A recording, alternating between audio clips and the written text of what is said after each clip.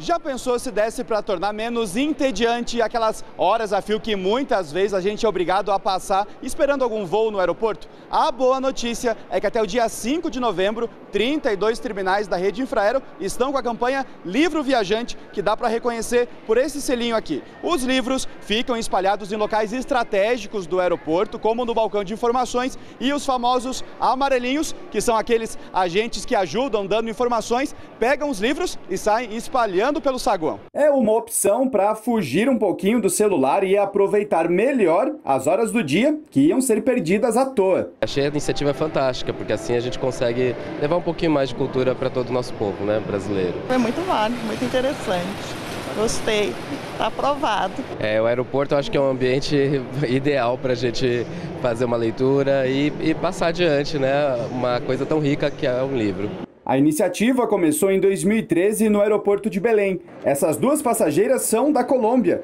Esperavam um voo de São Paulo para o Rio de Janeiro e aprovaram a iniciativa. Fomentar a leitura me parece muito bem. Me parece uma excelente ideia. Eu, eu nunca havia visto isso.